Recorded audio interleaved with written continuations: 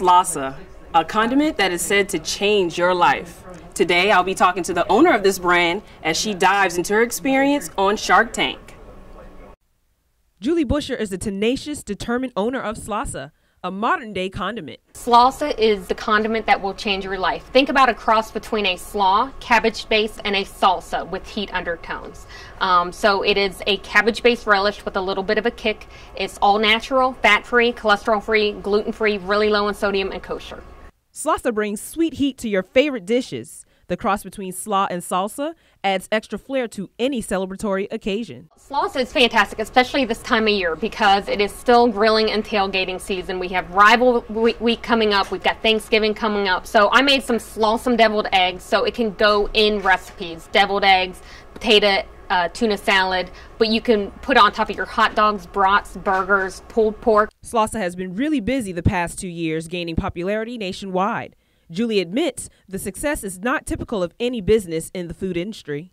Uh, we've been very fortunate uh, that within two years we're in over 5,000 stores nationwide, which is sort of unheard of and, and probably grabbed the attention of Shark Tank. With Slawsa's current success, one may wonder why choose to dive into the Shark Tank? The opportunity for that awareness and that exposure is great, but at the same time, you have an opportunity to get a fantastic partner. Julie recorded this YouTube video a month after taping her segment in Los Angeles.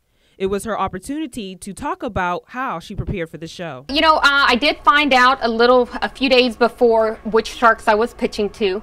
Um, to be honest, I was a little disappointed Barbara Corcoran wasn't in that group because she was really the one of, of all of them that really has more experience at a CPG grocery industry kind of item. She also took it as an opportunity to address the concerns of her fans and speak candidly about what was left off of the final edit.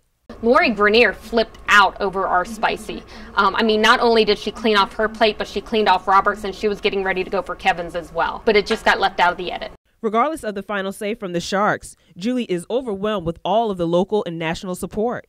Obviously, we didn't get the Sharks to invest, but um, we, you know we've gotten so much support from America and so many people reaching out saying, "How can we help you?"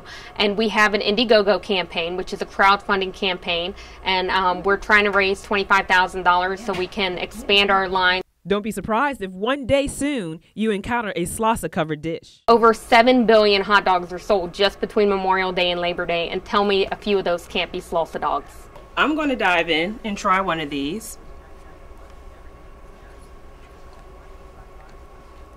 Perfect for Thanksgiving. Perfect for your tailgate. Wow, it actually is really good. Want to find some Slawsa of your own?